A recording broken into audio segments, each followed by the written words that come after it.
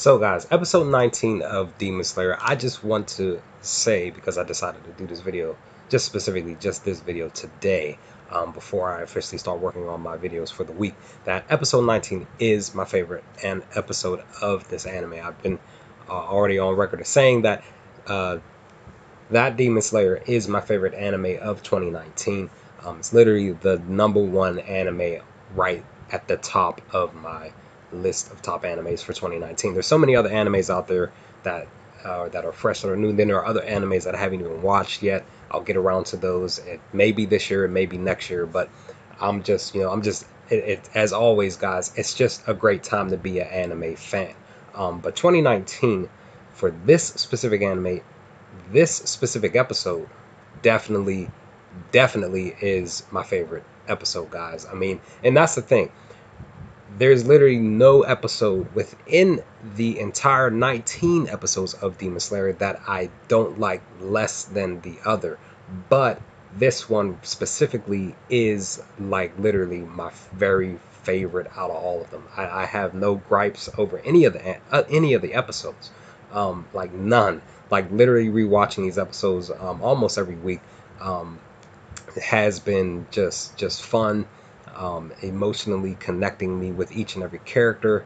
Uh, you know, there's so many things to still talk about within the the past episodes, uh, but but this episode, guys, there's there's tons of stuff to talk about that I can't wait to put these videos together for you all uh, for the week for this week to come specifically, and then you know specifically for weeks to come because we literally only have. Uh, I believe seven episodes left. I believe it's 26 total episodes that we're getting for season one. I'm definitely expecting a, a second season. Um, I that's that's just I'm just putting it out there. I'm expecting it.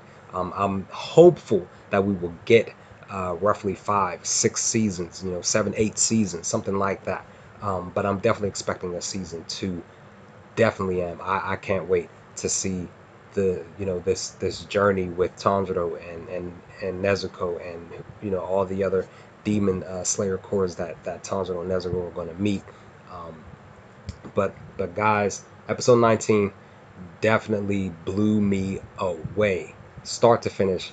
Uh, definitely the last roughly like six or seven minutes of this episode really took an emotional toll on me to the point where I literally had to, you know, remove myself from from uh, you know from my from my spatial area here because it took me about 20 minutes to get myself together, even in the midst of me trying to prepare my you know my meal for dinner today. But all in all, guys, episode 19 was great. I loved it.